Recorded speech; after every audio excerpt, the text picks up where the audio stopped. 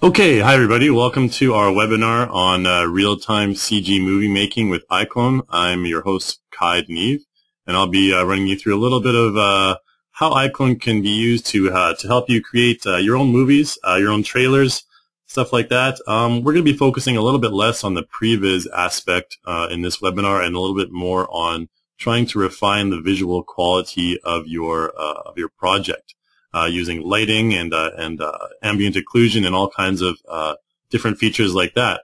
Uh, so what I'm going to do first, we're going to go through a little bit of a PowerPoint uh, presentation just to explain to you a little bit of what we're doing here.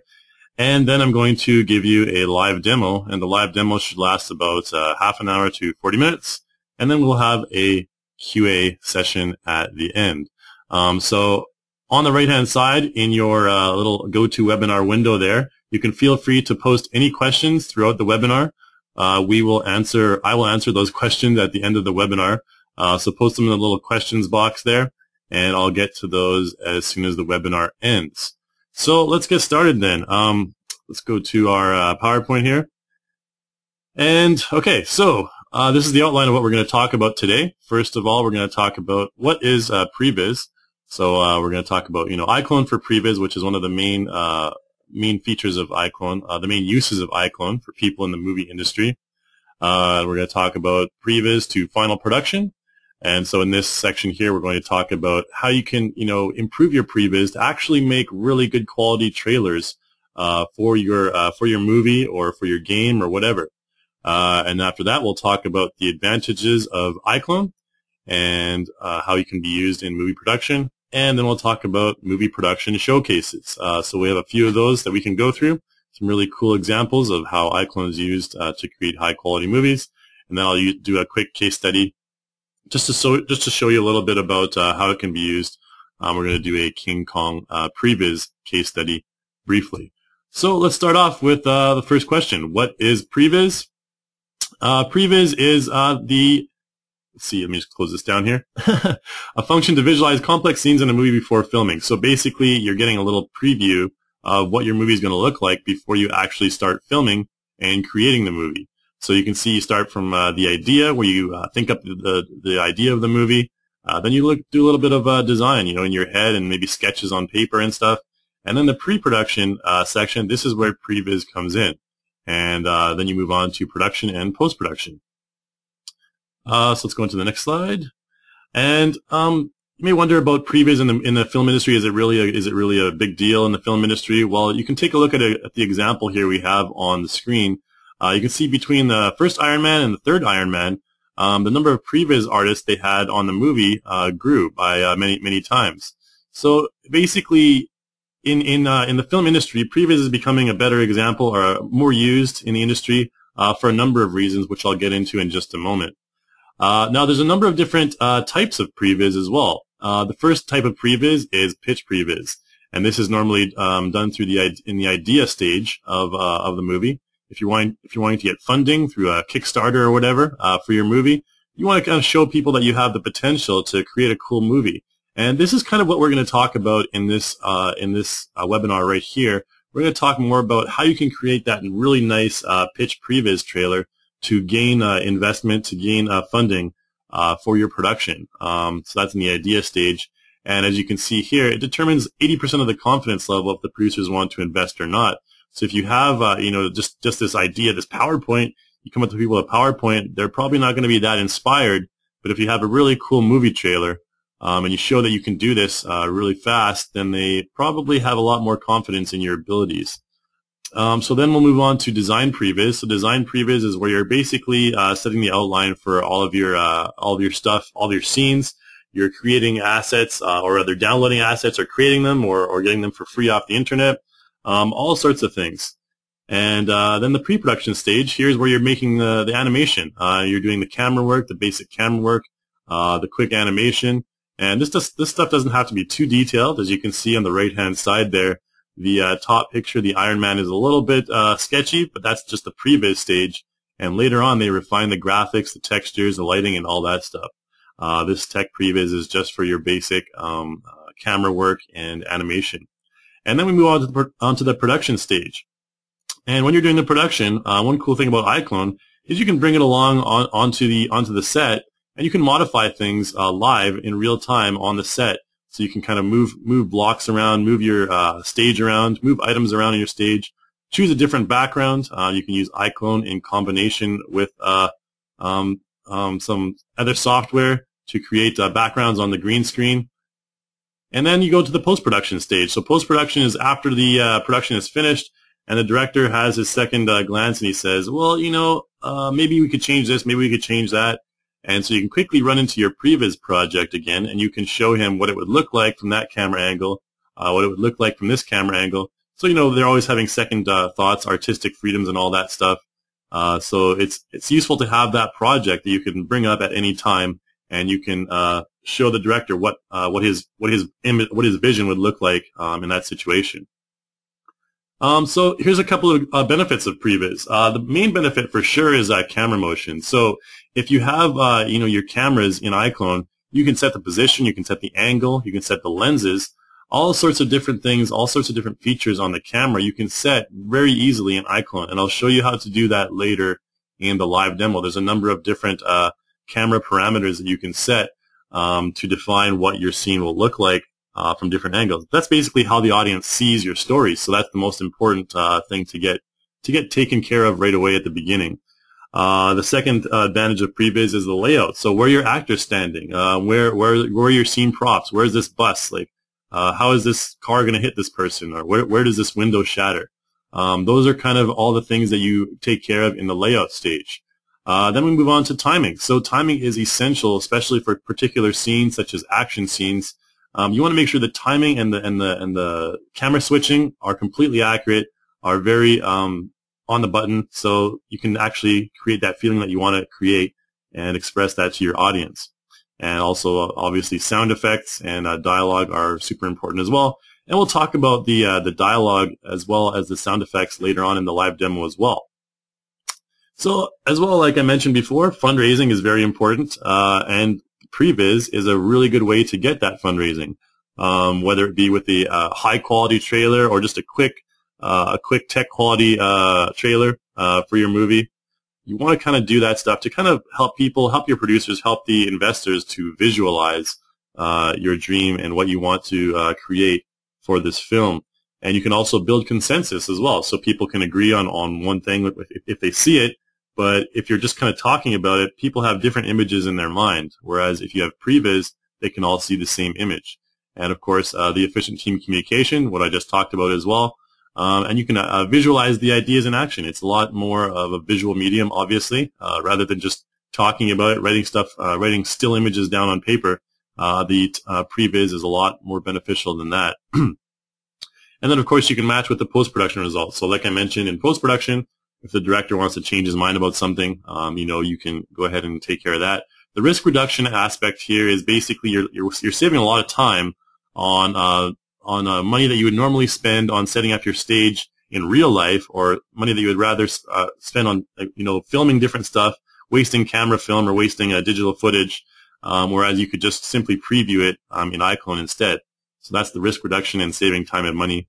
And you can see we have a few quotes uh, down here from a few um, well-known directors, and that's basically uh, shows you in a nutshell uh, the advantages of previs. So on from previs to final production. So in the final production, uh, this is kind of your production workflow. Uh, generally, we we I, I, brought this up in a previous slide, uh, but you can see that uh, you have the idea, and then you design your characters, and then you go into the pre-production stage. after that, you go to the production. Um, this is using iClone. So if you're using iClone for production, you're, you're going to want here to uh, refine your lighting, refine your materials, your camera work, and uh, everything to make it look visually amazing. And then in the post-production, like I mentioned, it's the same as previs. You can retrieve those modifications for directors quite easily. So the first thing is the idea. So you come up with an idea. You just click and drag a bunch of stuff onto your scene. You can see we have three random things, a big troll, an old gentleman, and a drum set. So you can just kind of click and drag um, stuff from your library onto your scene and think, um, you know, uh, how could these three guys work together? Um, you know, what, what's the story with these these people on the scene? And that's where your ideas come from. That kind of helps to inspire you. And uh, for iClone, it's really easy just to click and drag those items onto your scene. And then you go to the design aspect, and you kind of, um, you know, think about, oh, you know, would this character look better you know, with uh, with ponytails or uh, with pigtails rather, and a, and a pink shirt, or would he look better as a war veteran? You kind of just kind of play around with ideas and and design different characters, and that kind of helps to uh, inspire the creative workflow as well. And on the right hand side, we have that image, uh, you know, with the uh, the house there. You can kind of design um, your set as well. Uh, so, do I want a picture here? Where do I want the sun coming from? Um, you know, what sort of uh, background, what sort of wallpaper do I want? And that's all, all the kind of stuff you take care of in the design stage. And then the pre-production stage. So this is where you're kind of, um, like I mentioned, testing out scene props. The cinematography uh, is def is um, the camera work as well as uh, you know the where the characters are in your scene, and that's the super important thing, uh, super important aspect of filmmaking is the cinematography, and that's how uh, that's one of the main things that iClone helps to work out. Um, the sound effects as well as the timing as well. So um, you can see there's different aspects to the pre-production stage. That's the previous stage, and then when you get to production, so um, basically these two scenes here, they're both scenes that I've created in iClone. Uh, the top scene with the image there, that's the one we're going to be uh, looking at in this webinar. And so this one is basically, it looks pretty good for iClone because we've done some proper lighting, uh, adjusted the materials, uh, and created some nice camera work um, to create a final production. And uh, I'll show you how to do all that stuff in a moment.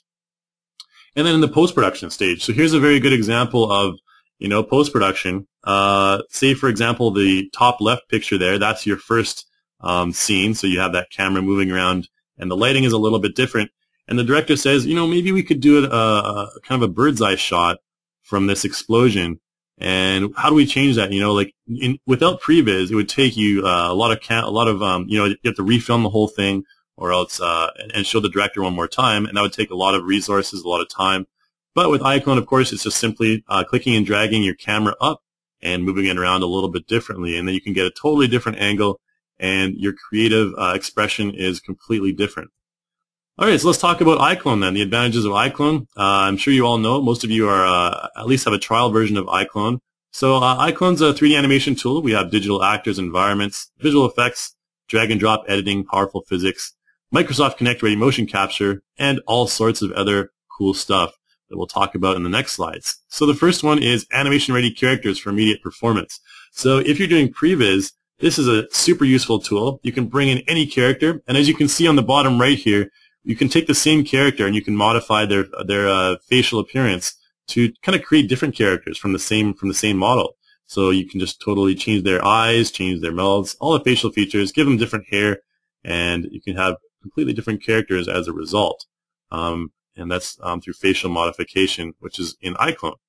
And of course, the uh, the different cloths as well. Um, I forgot to mention here the uh, different clothing you can uh, create for your character. You can create your own clothing or you can just simply buy them from the content store or our marketplace. And then, of course, you can preview your motions without animation skills. So here we have an example of Kinect Mocap, uh, where you're basically uh, creating the motions by yourself um, through uh, motion capture. And on top of that, we also have, you know, the huge motion library of, uh, I think we have 600 motions in iClone 5 that are available for you to use.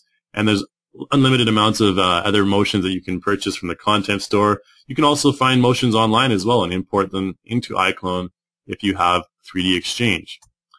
And then we have the uh, all the free content you can find online. So this is the Google Warehouse. Uh, you can go here and you can find all sorts of free models and bring those into your scene.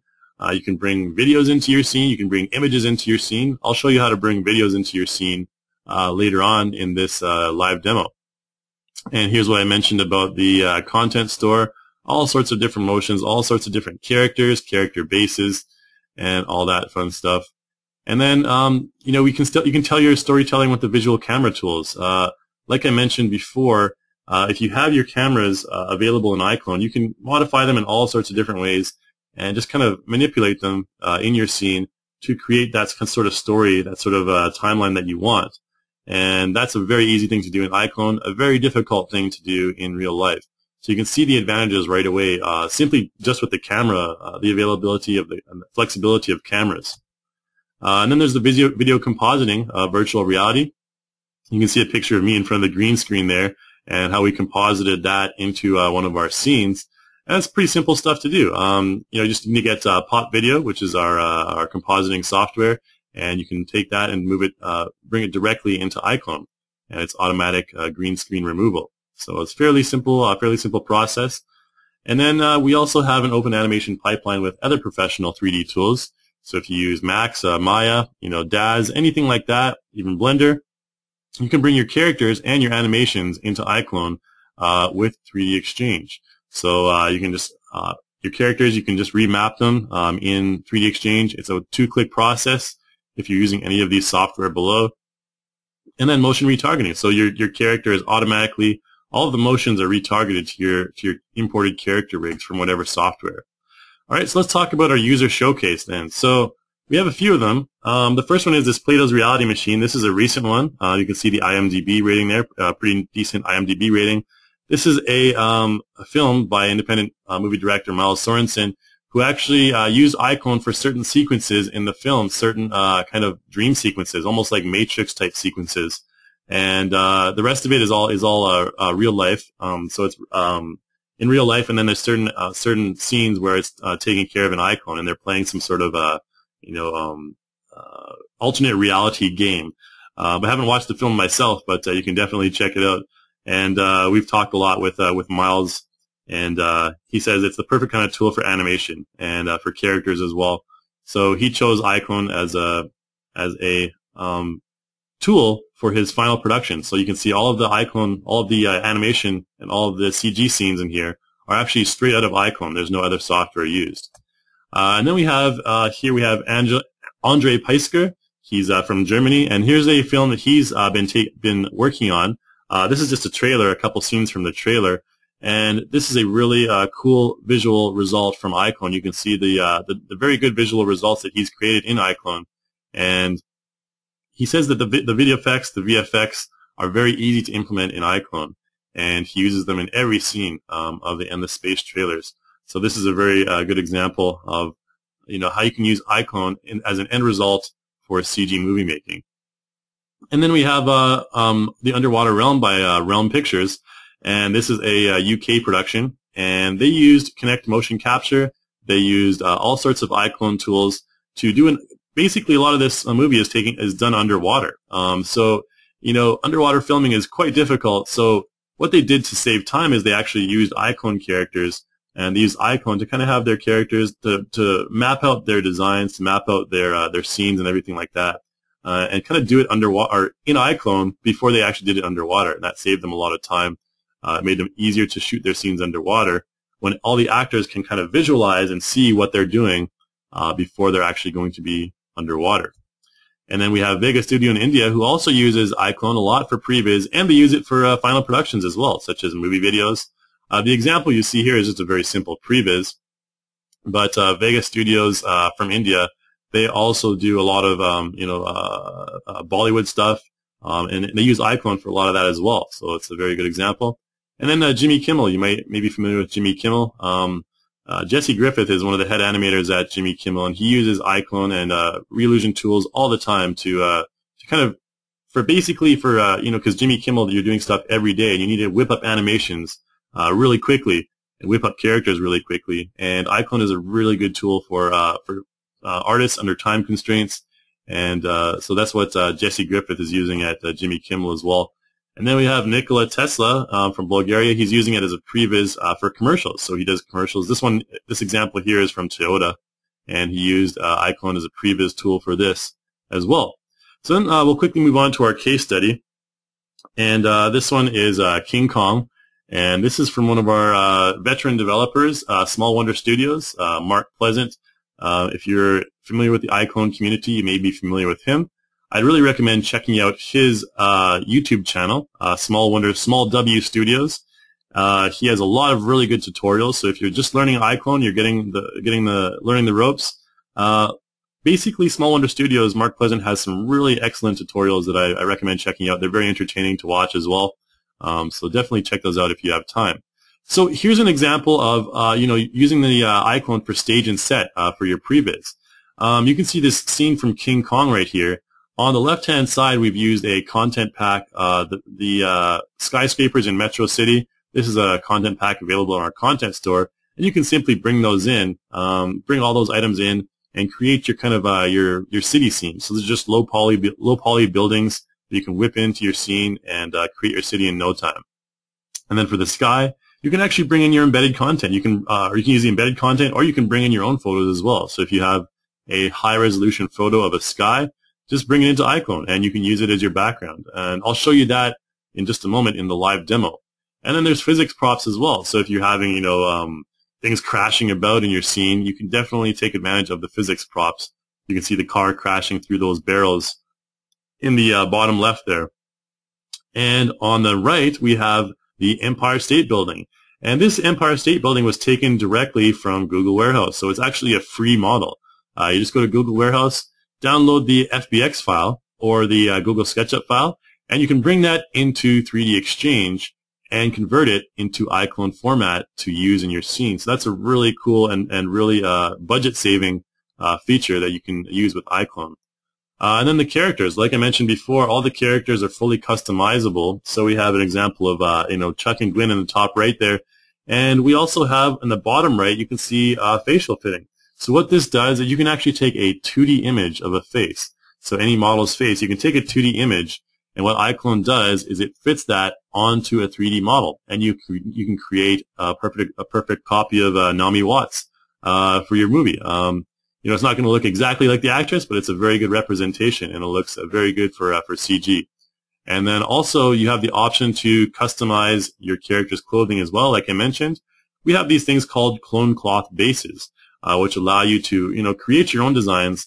Or we have a number of excellent developers in our marketplace and our content store that actually do this, and they they sell their designs on the marketplace and the content store, so you can use those without having to create your own. And uh, for other characters as well, we have um, this character King Kong. This character was taken from uh, from Maya and brought into 3D Exchange, and you can kind of just uh, map this uh, map the bones of this model, and you can apply human animations to him. The other option is you can import him as a non-human character, and you can do frame by frame animation as well. We won't get too much into that in this webinar, but you can check the our YouTube channel. We have tons of tutorials that talk about um, you know, converting characters in 3D Exchange. And then the special effects. We'll deal with a little bit of special effects in uh, in this webinar here. Uh, we have particle effects. We have uh, content packs that have explosions and all kinds of crazy stuff. So uh, in this scene where the, the, the, airplanes are kind of shooting at the uh, at the monkey uh, or at the gorilla or the King Kong, whatever, you basically can uh, use these particle effects to create the illusion of uh, you know machine gun fire or uh, smoke and all that stuff. We'll talk about the smoke later. And once again, I want to talk about the cameras as well. You know these uh, these camera angles are very easy to establish. I'll talk to you a little bit about um, getting camera angles ready as well. The camera movement, you also have a lot of freedom over that, and we'll talk about that as, uh, later as well. so that's about it for our PowerPoint. Uh, right now, we're going to get into our live demo. And uh, we, we're going to start with the scene setup. So I'm going to talk about a little bit about how you can set up stuff in your scene, move on to scene lighting, and then into a little bit of simple character animation, and move into props, uh, sound and visual effects, and then camera movement and effects. And I'll kind of go through these as we move along. But first, what I wanted to, I wanted to provide you guys with a link um, for the video, the final production for this. Uh, so I'm just going to copy this. I'm going to paste it into our GoToWebinar uh, chat window here. So I'm going to type a message. I'm going to just post that link. And if you have time, uh, you can check out that video. This is what the uh, final production looks like. Simply because uh, over GoToWebinar, you may find a little bit of lag. Um, so I'm going to just post this YouTube link for you guys so you can check it out. Um, make sure you uh, like and subscribe. No, I'm just kidding. That's just my personal channel. So just go ahead and check it out if you have time. And we'll move to our uh, our project right here. So this is our project. First, what I'm going to do is I'm going to switch to a preview camera. Now the preview camera gives you freedom to move around your scene and uh, you can see right here I'm just going to rotate this camera around and I'm going to turn off the grid there and you can see this is this is our camera now a couple things about this scene before we get started uh, it may be a little bit dark for you guys but uh, I think it looks fine on my screen um, maybe just uh, increase your uh, your resolution here so this is basically our uh, our scene right here, and it's kind of going to be like a drug dealing uh, gangster kind of scene. As you can see, we have a couple of characters. These are both from our independent developers on the marketplace. This entire scene actually is from one of our new developers, a Japanese developer. So everything you see here, this is all from independent developers. Uh, every single item in this scene. uh, none of this is actually Reallusion content uh, except for the special effects. So you can see that all of this stuff you can find in our marketplace. There's tons of uh, options available um, uh, to download uh, all kinds of cool new content. So I recommend you check it out.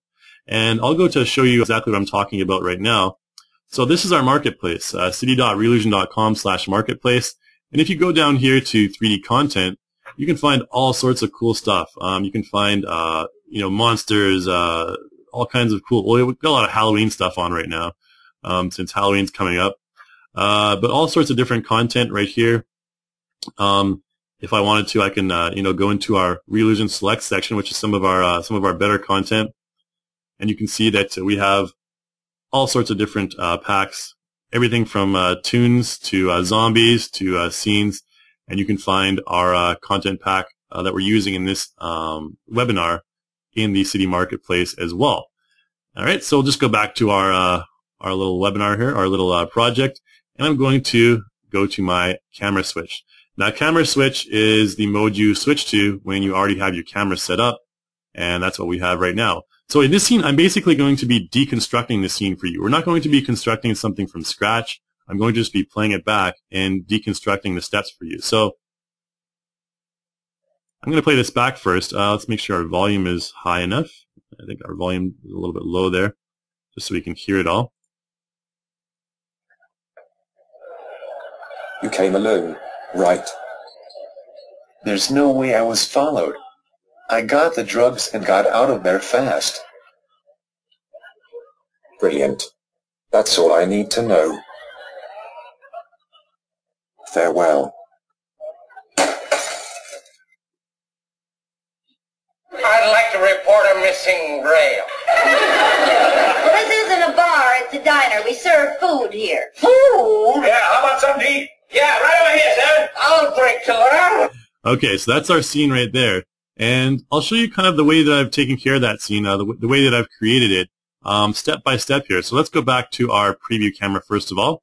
And in our live demo, the first thing we're going to talk about is scene setup. So importing some props and interior scene assembly. I'm going to show you a couple of quick, really, uh, really quick tips here for how to do that. Now, uh, for this, I'm going to go from pixel shading mode here, and I'm going to go to quick shading mode. And this is just an easier mode. You can see the scene is a bit lighter now. And this way, you're basically able to, it takes less resources on your computer. You're able to navigate your camera a lot faster. And you can see the scene without uh, shadows and everything like that. So you can kind of see the layout a bit more. So I'm going to just move over to these little pizza boxes over here in the corner.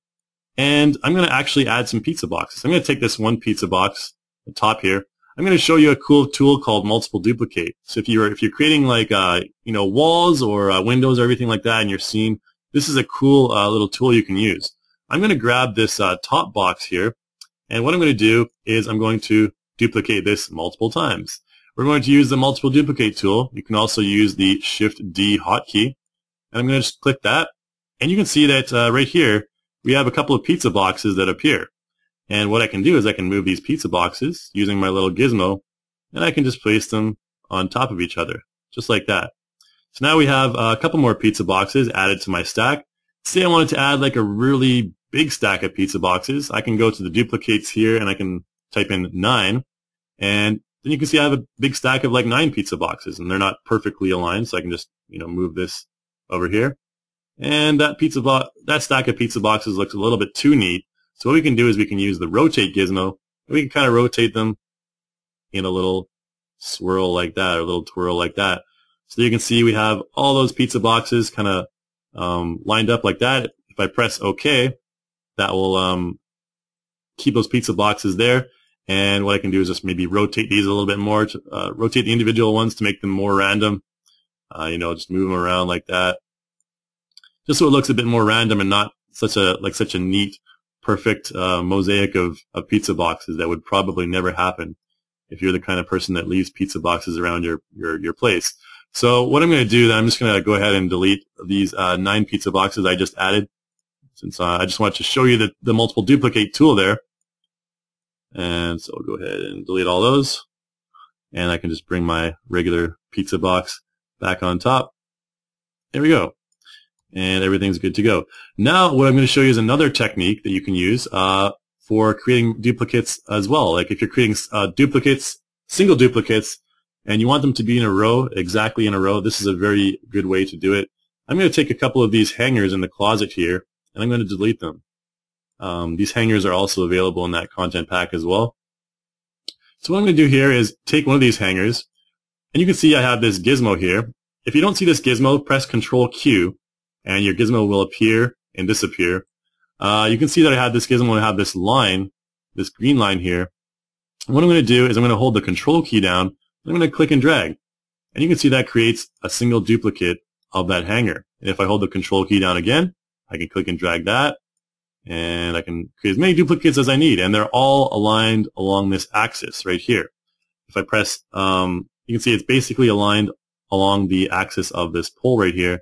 And I have all of these hangers perfectly uh, set up. So that's basically it for uh, those. Are the, that's a couple of tips I'm going to give you for uh, scene assembly. Uh, we're not going to concentrate on that really in, the, in this webinar. We're going to concentrate more on um, you know making your scene beautiful and stuff like that. So back to our uh, live demo outline here. Now we're going to talk about lighting. We're going to talk about directional lighting and the spotlights uh, and point lights. So for this, I'm going to go back into my pixel shading mode. Actually, first I'm going to show you the background. I forgot to mention the background here.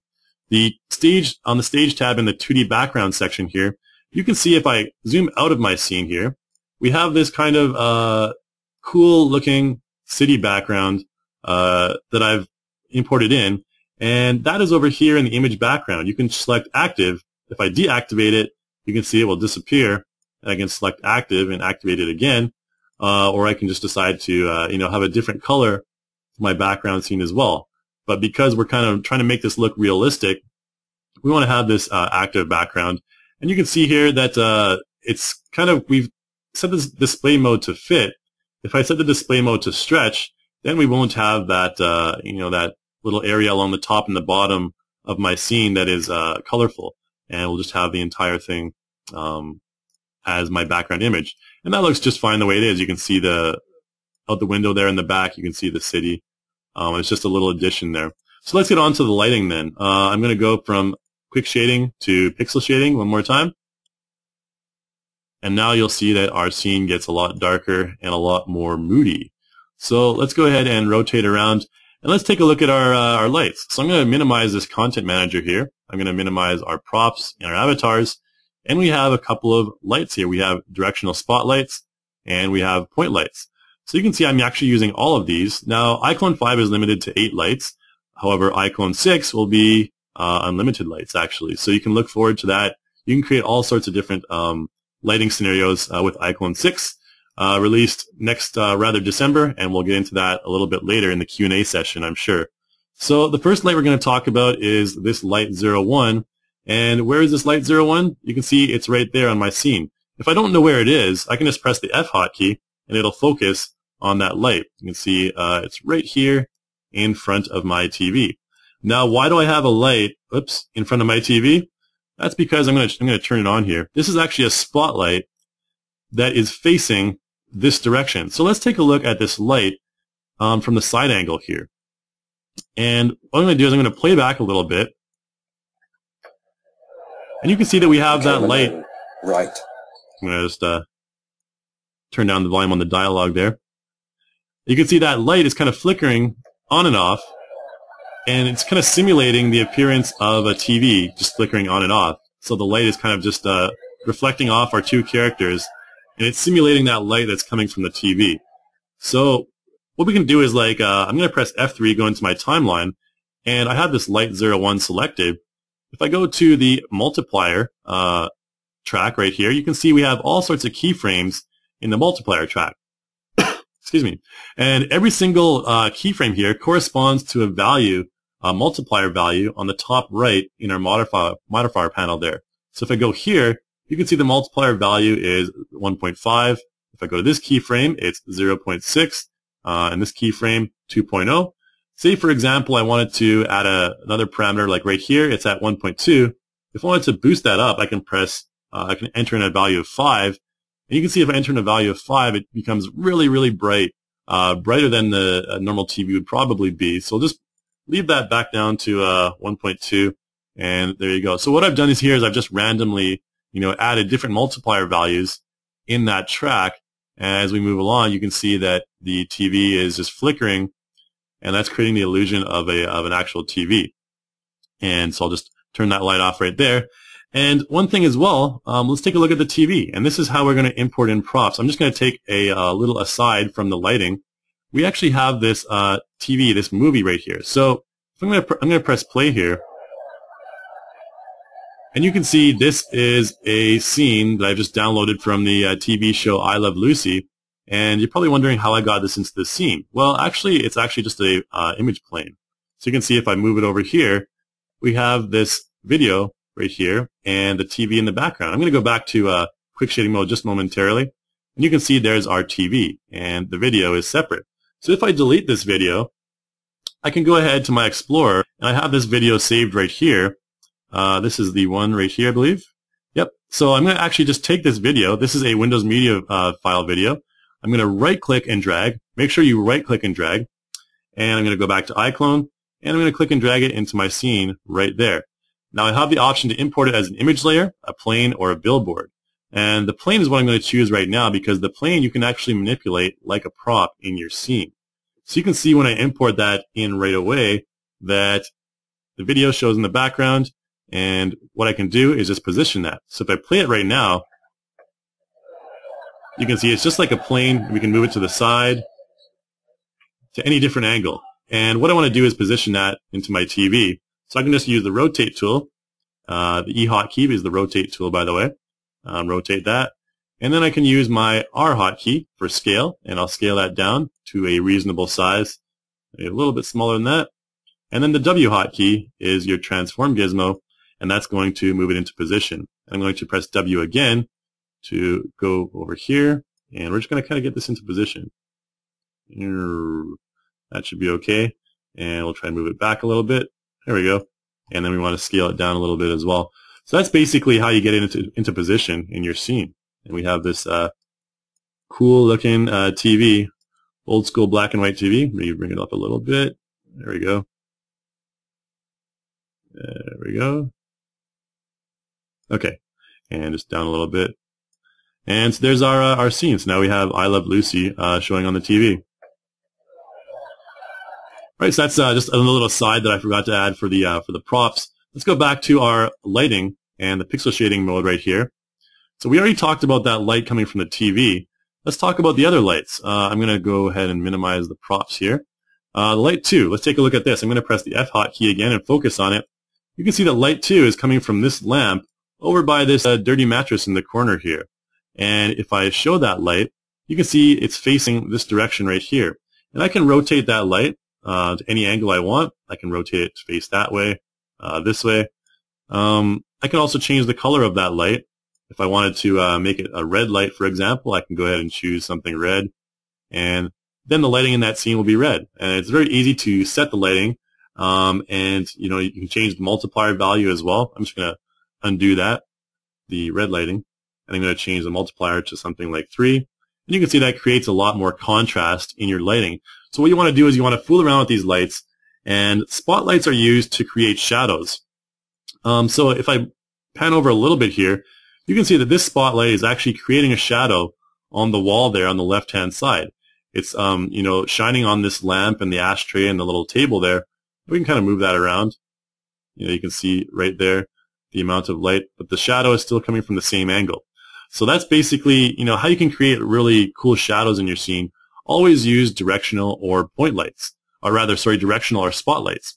So I'm going to just take that one out. And light 3, you can see light 3 is over here. Light 3 is the same thing, except light 3 is focused on this lamp right here. And uh, if I if I rotate that, you can see I can move it up like that or down like that. Now there's a couple other things with spotlights. We have this uh, range. If we want to change the range of the spotlight, we can decrease the range to something really small And you can see that if we take it down to like almost one or one or zero, it'll only shine in that local area right there. And we, if we decrease the angle, you can see that the spotlight will really focus on that one area. And uh, maybe I can take that multiplier up to two so you can see a little bit better. Right down there, that's where the spotlight is showing. The angle is a little bit smaller. Um, the fall off fall off is kind of making it uh, faded or very sharp. So you can see the fall off is very sharp right there, or the fade off uh, right there. The fall off is very faded right there.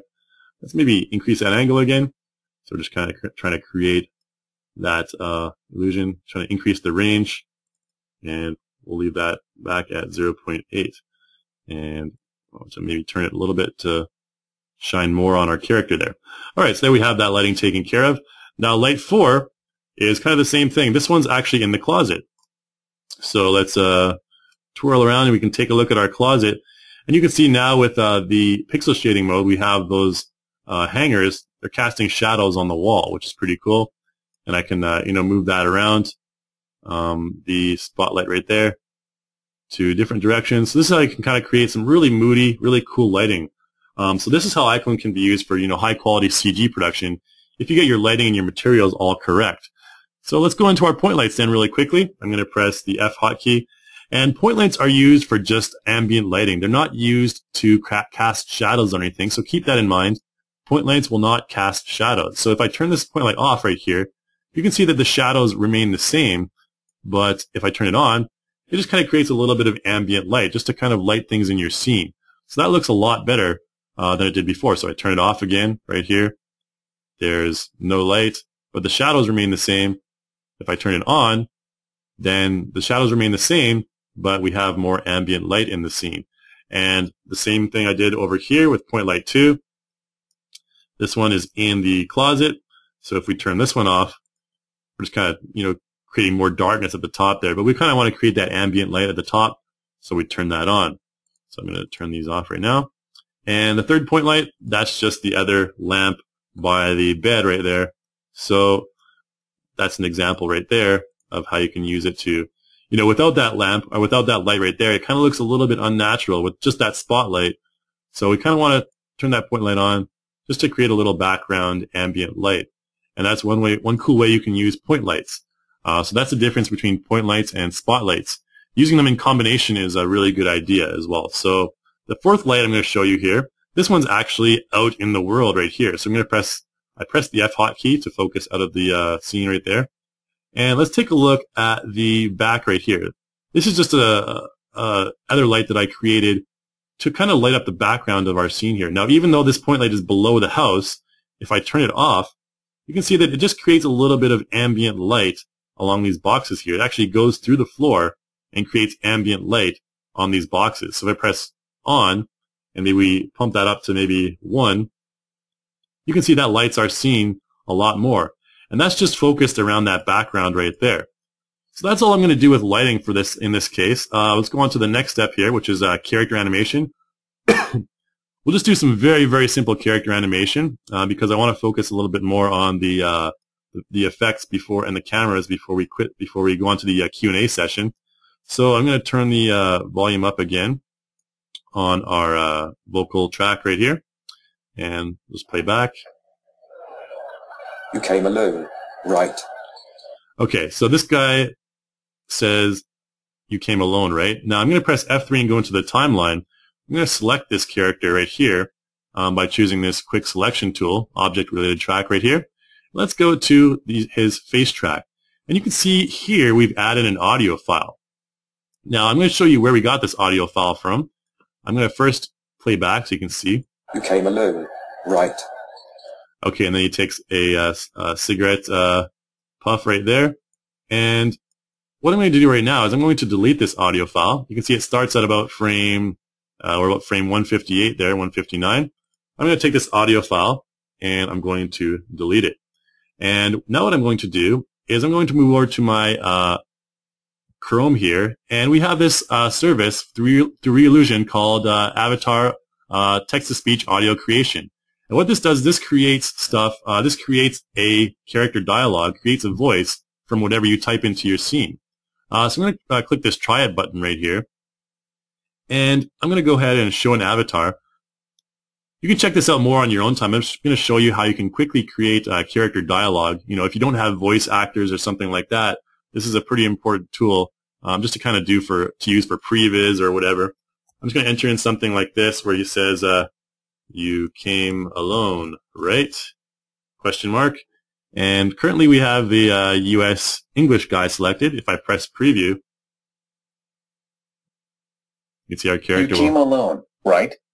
All right, so you can see how it's a little bit different from the other guy. Uh, the other guy we use the UK English. I can also decrease the pitch here if I want to make him have a manlier voice.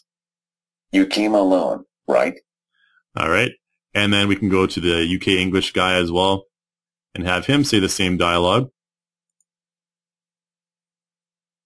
You came alone, right? All right, so you might recognize that one as the uh, the voice that we used in our project. So I'm going to go back to iClone here, and the way I move that, the way I add that to my scene, obviously, is to it's a very very quick process. Go to animation, go to facial animation, and then we have the option to uh, record our own voice. We can open an audio track, or we can actually use text to speech as well, which will use your uh, your computer's regular uh, you know uh, voice text to speech option, which is not as good as the one uh, on the website. But if I just open this track, I'm going to open this Gangster One track. I downloaded this uh, from that text-to-speech service. So if I just go ahead and open that. You came alone, right? Okay, so that's basically how you can just add your uh, your facial animation to your character. And for his little cigarette uh, little cigarette animation there, what I've done is I've actually gone to the motion track here, and uh, let's just uh, close this down here. Oops. And the motion track, if we move a little bit further on, you can see that he's just actually moving from here to here. He's lifting a cigarette to his uh, mouth. There should be a keyframe somewhere. Okay, anyways, he's moving from here to here. He's putting a cigarette back down, and oh, sorry, we're in the. Uh, okay, actually, this is this has actually been saved as part of the clip already. Sorry, guys. Uh, so basically, if you want to, uh, you know, create a motion from here to here, we can just simply use our uh, motion editing tool. So if I go to the motion uh, section right here and I go to edit motion layer, I can select my character's arm and I can, you know, kind of move it up like that. And that creates a uh, keyframe here. And then if I went from here to here, you can see that I can create another keyframe. If I wanted it to be a little bit different, like over here, I can modify that motion. Right. There's no way. And so he wouldn't move all the way up to his mouth. So that's what I was uh, looking for before. You just create those little keyframes and you can ma- manipulate the timing of those and everything like that as well. So that's all we'll really do for character motion. The character motion where our character was uh, kind of falling back after he got shot. Let's take a look at that one really quickly before we move on. So I'm going to go here and this is our G5 Eddie. Uh, I'm going to go to our motion track right here. Now take a look. Basically all of his motions are just your simple There's uh, no way I was followed. I got the drugs and got out of it. His simple puppet motions. They're fast. Going to close this one down here. Brilliant. That's all I need to know. So you can see here, he stops moving. He has no motions because he no longer has body puppeteering. But all I was doing for him for that entire time is going to animations, motion puppet, and in the motion puppet tool, I just use one of these uh, idle motions here, and you can use this uh, bored one, for example, and just take a look at his body when I when I do this. If we press preview, he'll have the bored motion. But if we want, we can actually mask out certain parts of the body. So we'll mask out his arms and his uh, hand right there, and then we preview this. He'll just move the one arm. And if we won't, if we don't want it to move so fast, we can actually decrease the exaggeration as well, and preview that. Farewell. All right, so you can just do stuff like that, and that's how I created the animation for him in the first part of the scene. And then we have this audio or this uh, clip that I added here. This is called the killed clip, and this is from one of our content packs in the content store. And if I scroll through here, you can see basically he just gets blown away, and that's about all there is to it. That's just another clip, and he falls on the ground. So that's a, a, uh preset clip that we've just added. Now the last thing I want to show you quickly is how I added this special effect of the window. So the window right here, you can see at this point, there's a point here where it smashes like that, right there. And the way we did that is that's actually a special effect that we downloaded from the content store as well. So if I was to remove all animation, right click that and select remove all animation, we'll no longer have that smash, but our character will still fall back. So what I want to do is at this point right here, right click on it and select, uh, whoops, want to make sure we have the window selected there. Yeah. Right click it and select perform. This is a smart prop and so it has the option to explode. So you can see that made the window explode. Like to report a missing Again. rail. It's a very simple, uh, just right click and right click command. So you can see the slow motion right there of the window shattering. And that's a very simple special effect. And we also have a special effect uh, with the character, the smoke on the character as well. Uh, I wanted to mention this one. There's two different uh, smoke uh, special effects, particle effects uh, on this character. The first one is coming from a cigarette. So you can see with the cigarette right there, let's zoom in really close on the cigarette. Uh, if I press play, you'll see that there's a nice stream alone. of cigarette smoke There's coming no up from a cigarette. I got the drugs and got out of there fast. Now that that uh, cigarette effect is actually from one of our developers on the marketplace as well. So you can just type in, uh, you know, go to our marketplace, and you can search in like a cigarette. Oops. And the one I use was actually this one right here from Bigstrek, the cigarette smoke emitter. So you can just simply add that to your scene as a dummy, and it'll create, it'll emit that smoke. The other uh, smoke effect that I added was our character um, smoking, uh, blowing out the smoke. So after he takes his uh, cigarette, then he blows out smoke like this. And now that was just a smoke effect that I added. So if I go to our particle effects right here, we can see this small smoke. And if I want, I can have, the way I did that is I keyed it. So when you want the smoke to start, you just go over here and we have this emit on and emit off. And that's keyable. So if I want to start that smoke, uh, maybe a little bit earlier, this is going to look weird, but if I wanted to start it earlier, I can start emit over here and then play back. There's no way I was followed. And so I he'll start smoking, and got out of there. he'll start exhaling even before he takes, even before he inhales a cigarette. So you basically just turn emit on and off when you want the smoke to start and stop. And there's all sorts of parameters here that you can mess around with as well. Uh, I don't have time to go into these parameters in this webinar, uh, but we do have tutorials on that on our website. And if you have any questions as well, you can email me at developer at reallusion.com for those as well. Uh, now, the last thing I wanted to show you before our Q&A is just a quick little uh, look at the cameras. So here I'm going to actually go to my, I'm just going to stay in my preview camera here. And I'm going to show you the different types of cameras that you can add. Um, so let's take a look at your typical uh, dialogue scene between two characters. Um, so if we wanted to have a scene like this where that character is off in the distance and this character is closer to the uh, camera, you can go to our stage tab here, and there's all sorts of options here we have for lens settings. If I go to like 800 millimeter, the, the, the higher the uh, focal length of your uh, of your lens, basically the closer it's going to make everything look in your scene. So it's going to be less of a less of a feeling of depth. So you can see with the 80 millimeter, everything looks a little bit closer together. But if I go to the 20 millimeter, you can see that it really uh, exaggerates that distance between the two characters. So it really depends on what kind of effect you're going for or what sort of uh, you know feeling, uh, mood you're going for in your scene. You can set keys to these lenses as well, so they can they can transition from one to the other. Um, but if dialogue, if you have a dialogue scene, normally you want a, uh higher focal length. So something like this, if there's two characters talking, you'll want to have something that looks like this.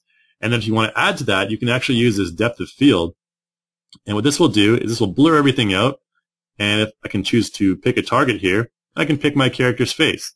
And you can see that now this character is focused and this character is out of focus. So that's a, a really cool effect that you can just quickly add in um, for a dialogue scene, and you can have the depth of field transition from one character to the other. If I want to have a higher range, I can choose like 500, for example, and you can see this character a little bit clearer. But I think it looks better maybe at something around 200, uh, like that. And this would be a very uh, good-looking dialogue scene. So if you use the right lighting, the right materials, and, and uh, the right camera work, you can actually get some really good effects uh, from iClone 5. And iClone 6 will look uh, will only look even better than this as well. Um, so that's basically it. So I'm going to end the live demo right there, and we're going to move on to a quick Q&A session. We have about uh, five, ten, or ten minutes, I'd say, for the Q&A session. So uh, I'm going to move on to the uh, questions tab here. We're going to bring that up and take a look at some of the questions. Um, so if you have any questions, feel free to enter them into the questions section, and I will answer those, answer those right now for you. I know we went through a, lot of this stuff uh, pretty quickly, uh, but if you have any questions, I can explain them for you. So uh, Dawn Evelyn says, uh, can I get a recording of this webinar session when it's over? Uh, yes, this webinar will be uh, published on our YouTube channel, so you can go ahead and check out the YouTube channel. There's also a lot of other tutorials on the YouTube channel that go in go go more into depth on all the features that I showed uh, in this uh, in this webinar as well. All right, so uh, basically, do do do do do. Uh, Gary asks, should I purchase iClone now or wait until the next version of it? Well, basically, uh, we have a number of different deals on. Um, uh, one of the best deals, you, you saw all the content that I used in this scene. this is a really good deal, I think. Um, all the content that I use in this scene, such as the the characters, uh, the uh, the house, the sofas, everything like that, those were all purchased, like I meant, like I mentioned, from the content store, uh, from the marketplace. so we have a we have an offer on right now where if you buy, I think it's $199 of content, uh, $199 of content, uh, you can actually get iClone 6 for free. So even if you have iClone 5 and you buy like $199 of content, you can just get iClone 6 for free. And if you already have iClone 5 and you buy that content, you get a free upgrade to iClone 6 as well. So really trying to push a lot of the content right now, as you can as you can see. Uh, but it's an excellent deal. I mean, you're getting you're getting a, a double positive uh, really right there. You're getting a lot of extra content, and you're getting the free upgrade to iClone 6. Uh, I just saw I just saw a question here uh, that that is relevant to what I'm talking about right now from Dave. Uh, he says, "Will all G3 stuff work with iClone 6?" Uh, yes, it will. So all the uh, previous models from previous versions will still work with iClone 6. Um, however, obviously the iClone 6 stuff won't work with uh, previous uh, versions of iClone. Um, so I hope, I hope, that answers your question there, Gary. and Anita asks, mention the shortcut keys you're using. yeah, it may be a little bit of lag for my mouse movements.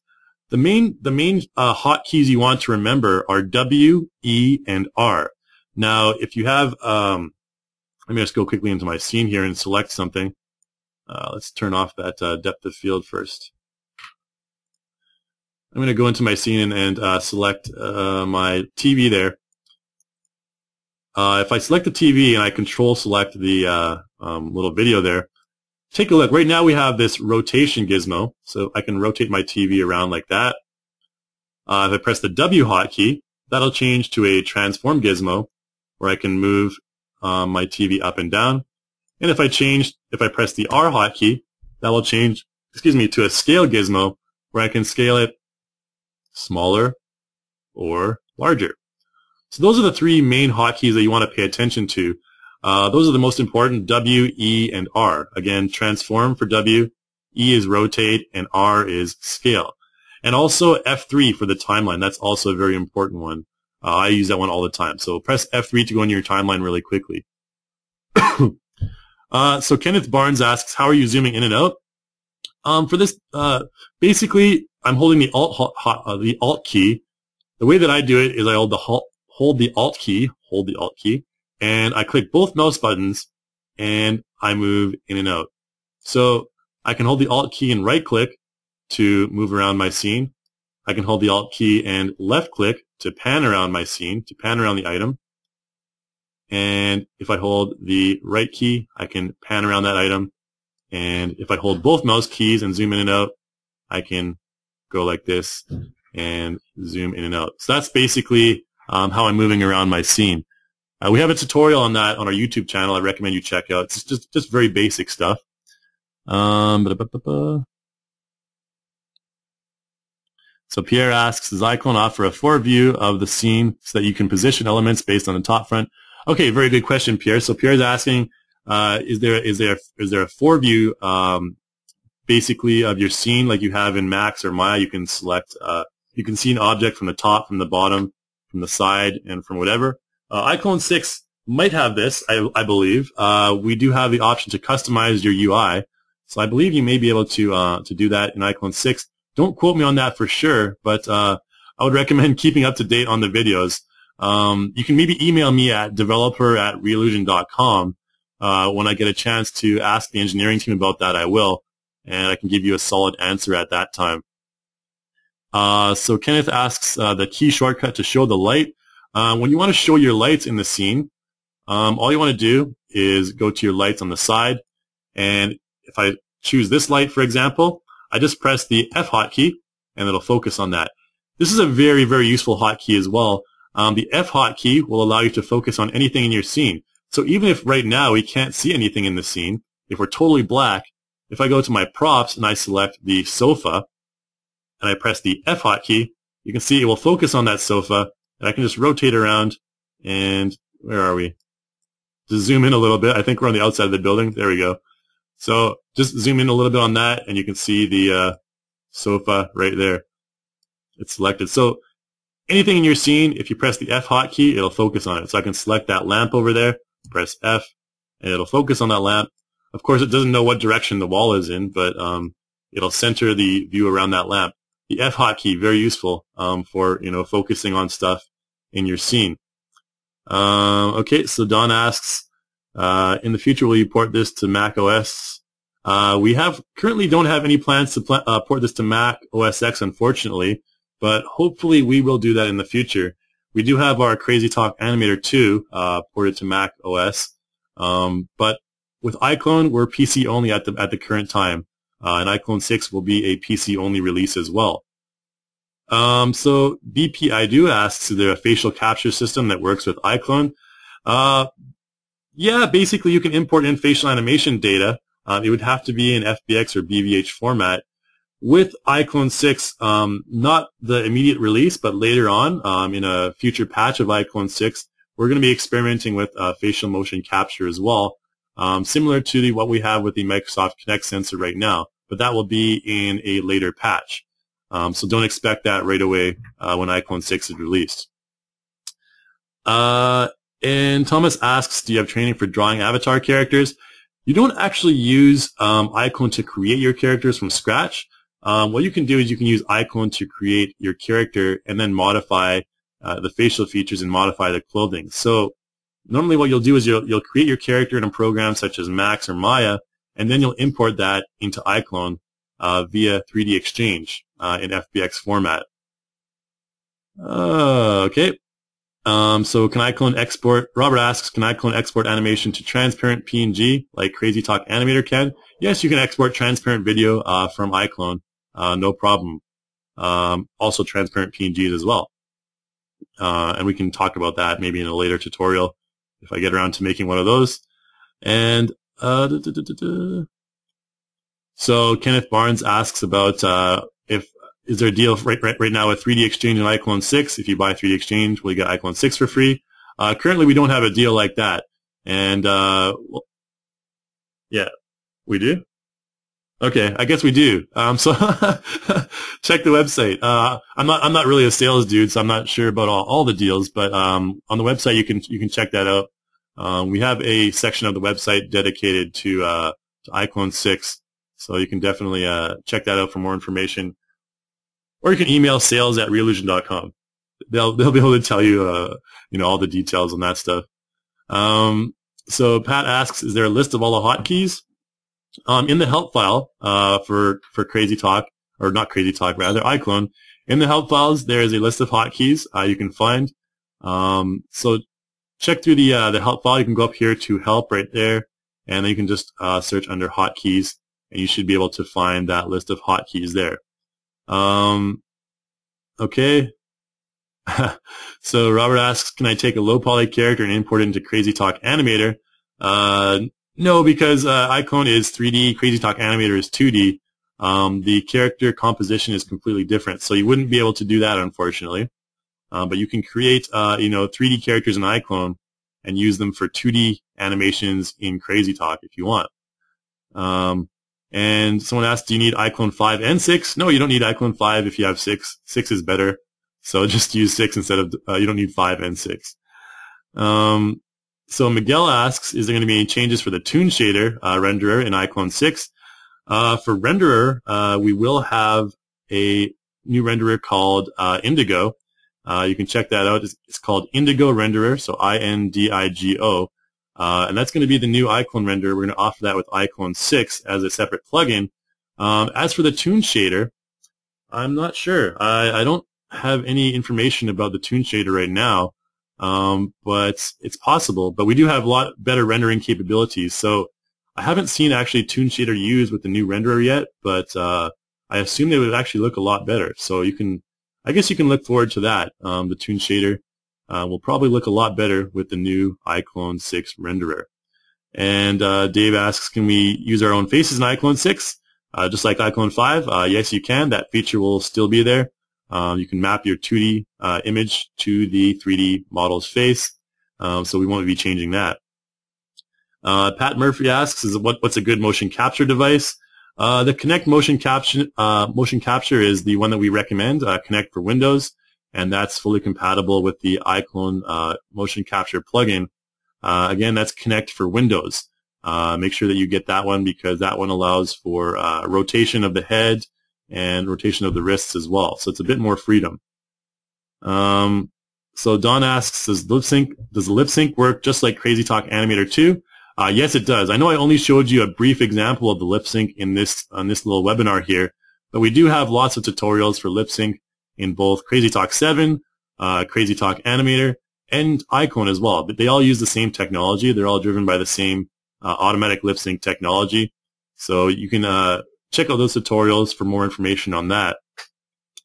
And Thomas asks, can you develop a character avatar in Blender? Uh, yes, definitely Blender is one of those programs where you can create your character from scratch and Blender is also free. So uh, Blender is a really great program to get started um, for creating your character. Then you can import that into iClone for animation and for uh, other stuff as well. Um, so Wayne asks, how many seconds are max in the timeline? Uh, actually, I don't know. Um, I think the timeline you can you can stretch it out to as long as you want. Um, however, keep in mind that the longer your uh, project is, the more resources it will take up on your computer. I recommend keeping your timeline, I think, to about uh, normally under about 3,000 or 4,000. Um, you know, save a separate project uh, and, you know, continue. You, you, can have different projects for different sections of your of your movie, obviously. Um, but you don't want too many frames or too many seconds in one project. Otherwise, that'll take forever to load. And, uh, you know, you want to save your system resources as well. Um, so Stan asks, is there a content manager for iClone 6 that will install our content automatically so we won't have to download it ourselves?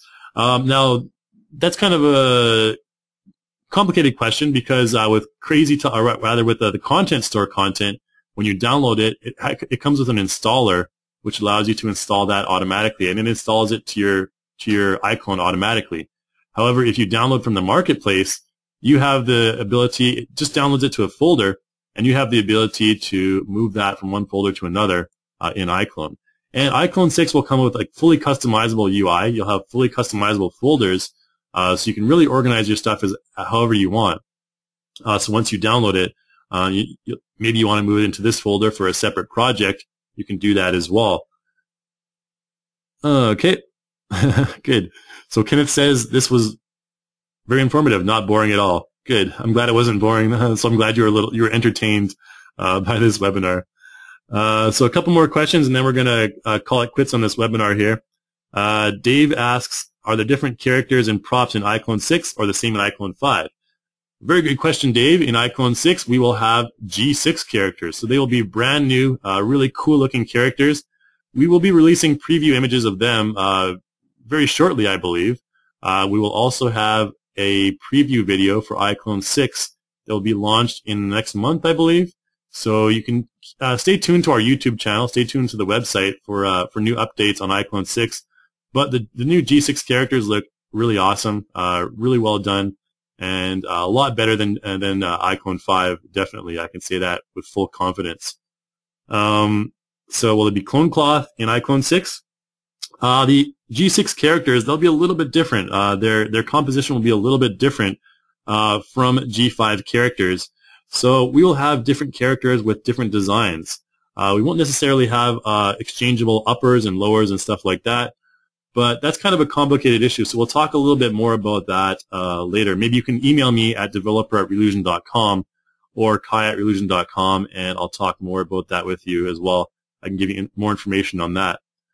Um, so Robert asks, can I use an iClone character and convert for 2D use in Crazy Talk Animator. You can you can transfer the animation, but you cannot transfer the characters. Uh, so iClone 6, uh, Bridget asks, when will iClone 6 be available? Uh, you can pre-order it right now already, I believe. Uh, you can pre-order it right now. Uh, it will be launched, I believe, in mid-December, early December. That's what we're uh, we're aiming for right now. Um, so it'll probably it'll definitely be released before uh, you know 2015, but uh, sometime in December is what I can give you a give you some preview for right now. But Saul asks, um, is there a few steps I can take first because I'm a newbie and I haven't used your software? Uh, Saul, in our in our website, um, we have a training section uh, for iClone. If you go to uh, reallusion.com, um, and you go to our iClone section, I'm just going to move this uh, folder over here. We go to products and we go to iClone. We have a training resources page that you can check out. Uh, where is the training resources? Down here. So training resources home. And we have all sorts of uh, quick fix tutorials for your first look at iClone 5. So if you're really new to iClone 5, I recommend checking out these tutorials. They're very simple, very short, and very to the point. Um, and these are kind of like a good introduction to how to use iClone. And then there's all kinds of other tutorials down here as well. You can just check out these links. Or alternately, you can also go to our YouTube channel and uh, just check out our videos and our playlists on the YouTube channel as well. Um, so Kenneth asks about the render time with iClone 5 and 6. Well, iClone 6 will use Indigo Renderer.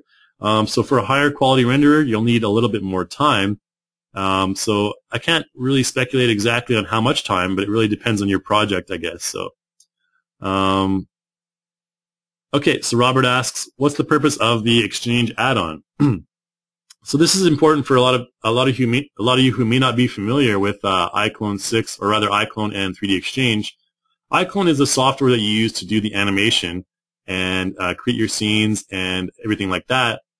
3D Exchange is the program that allows you to convert external assets and import them into iClone. So if you have a model from uh, 3D Warehouse or a model from Maya or a model from Max, you can import those into iClone and you have to go through 3D Exchange first. So you import those into 3D Exchange and 3D Exchange will convert that into the version that uh, iClone can use.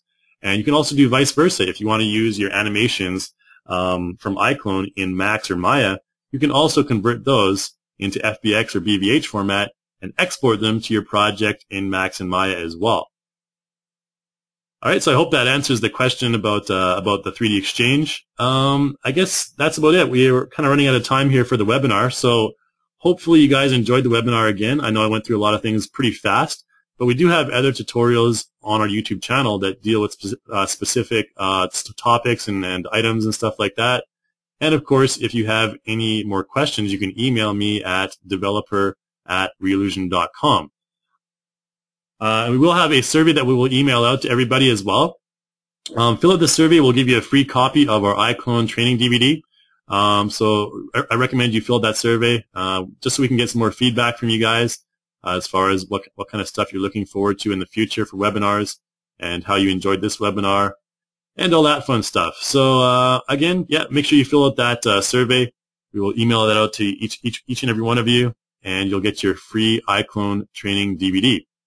All right, so that's about it uh, for this webinar. I'm gonna I'm gonna end it off right now. So uh, again, everyone, thanks for watching, and have a good afternoon, good morning, good evening, wherever you are in the world, and take care.